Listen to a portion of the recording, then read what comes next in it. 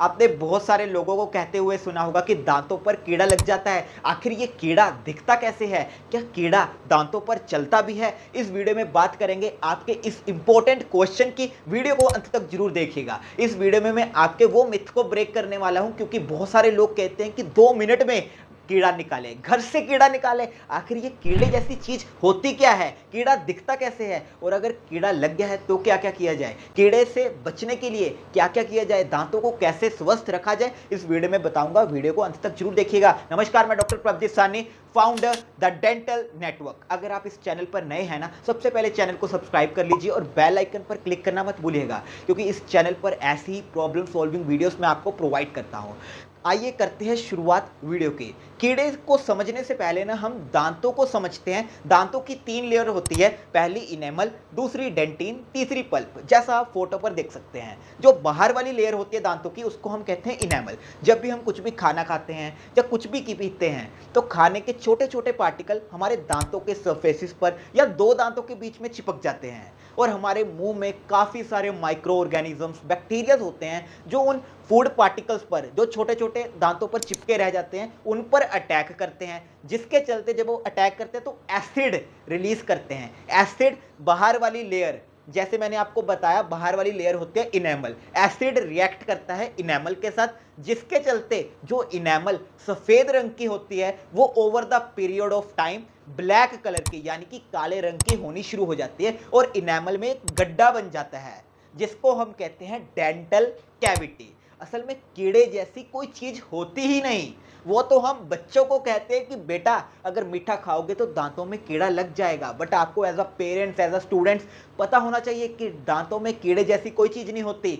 Dental भाषा में इसको कहा जाता है डेंटल कैविटी यानी कि एक गड्ढा बन जाना, दांतों में सडन हो जाना डेंटल कैरीज भी आप कह सकते हैं। उम्मीद करता हूँ आपको मैं समझा पाया हूँगा अब बात करते हैं ये डेंटल कैविटी से बचा कैसे जाए, कि हमारे दांतों में गड्ढा बने ही ना। इसके लिए चार उपाय मैं आपको कहूँगा कि आपको करने ही करने हैं। सबसे पहला इंपॉर्टेंट रूल जो मैंने कई वीडियो में बताया है, इस वीडियो में दोबारा बताना चाहूँगा और बताता रहूँगा, क्योंकि ये रामबान है हमारे मुँह की सेहत के लिए। कि सबसे पहली चीज़ आपको ध्यान रखनी है, दो प्लस दो is equal to good oral health का फॉर्मूला यानी कि आपको दिन में दो बारी, दो मिनट के लिए, दो बारी, दो मिनट के लिए ब्रश करना है, एक रात को सोने से पहले और सुबह ब्रेकफास्ट के बाद। अब इसके पीछे क्या लॉजिक है? रात को ब्रश करना इसलिए ज़रूरी है क्योंकि जब हम खाना खाते हैं तो खाने के छोटे छोटे पार्टिकल हमारे दांतों पर रह जाते हैं। और अगर हमने रात को ब्रश नहीं किया ना तो हमारे मुँह में कई सारे बैक्टीरियाज होते हैं, उनको पूरी रात मिल जाती है उन भोजन पर, उन फ़ूड पार्टिकल्स पर अटैक करने की। और जितना अटैक करेंगे, उतना ही वो एसिड रिलीज़ करेंगे और एसिड हमारी बाहर वाली लेयर इनेमल के साथ रिएक्ट करेगा। और ऐसा ही जब आप ब्रेकफास्ट से पहले करेंगे, पहले तो चलो आपने रात वाले फ़ूड पार्टिकल्स को हटा दिया। फिर आपने भोजन किया, फिर फ़ूड पार्टिकल्स चिपक गए, फिर बैक्टीरियाज को पूरा दिन मिल गया उन भोजन पर अटैक करने का। तो ये तो हो गया पहला रूल दूसरी चीज़ जो आपको फॉलो करनी है अपने दांतों को स्वस्थ रखने के लिए, ध्यान रखिएगा कभी कभी हमारे दो दांतों के बीच में फ़ूड पार्टिकल्स फंस जाते हैं। उस केस में ना, आप डेंटल फ्लोसिंग का इस्तेमाल कीजिए। अब डेंटल फ्लोसिंग कैसे करते हैं, वो भी मैं इस चैनल पर बताऊँगा, आपको सब्सक्राइब कर लेना है बस। तीसरी चीज़ जो आपको ध्यान रखनी है, पूरा दिन आप कुछ भी खाएँ, आप खाने के तुरंत बाद नॉर्मल पानी से ना गार्गल ज़रूर कर ले, कुरली ज़रूर कर ले। इससे क्या होएगा, जब हम कुछ भी खाते हैं, खाने के छोटे छोटे पार्टिकल्स जब हम कुरली करते हैं नॉर्मल पानी से वो वॉश आउट हो जाते हैं। क्योंकि हम हर बारी तो ब्रश कर नहीं पाएँगे। चौथी चीज़ जो आपको ध्यान रखनी है आपको केवल और केवल हेल्दी फ़ूड ही खाना है।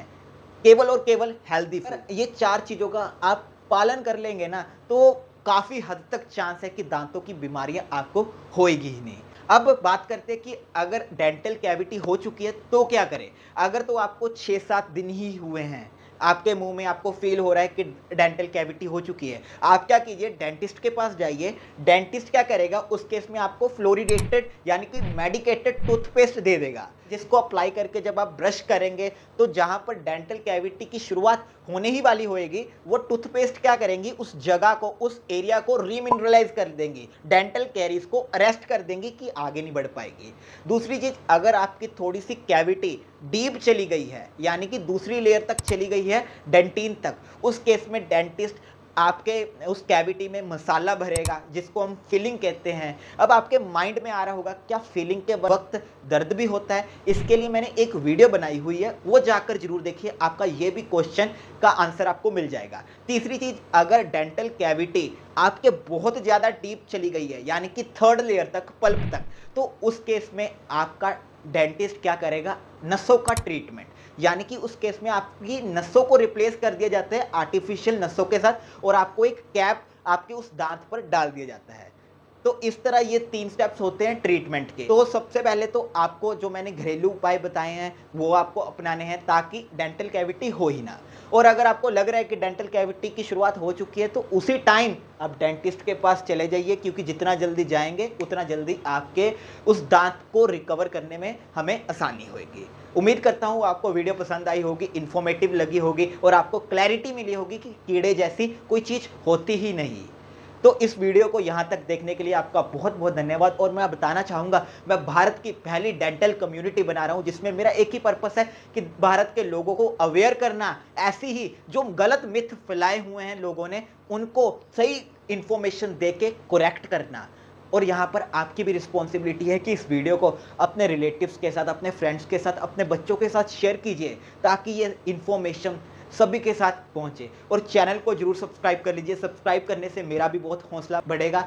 और आपको इन्वाइट करूँगा। अगर आप व्हाट्सएप कम्युनिटी पर जुड़ना चाहें डिस्क्रिप्शन में मैंने लिंक दे दिया है। अपनी डिटेल्स भरिए। हमारी टीम आपको एड ऑन कर लेगी।